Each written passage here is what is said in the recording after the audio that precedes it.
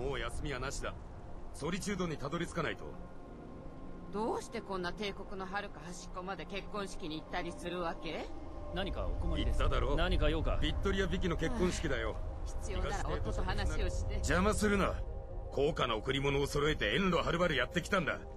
ビットリアの婚礼に遅れるわけにはいかない。ああ式場にたどり着けたらなうまくいけばこの品々を送ることで彼女に気に入られ例の輸入取引が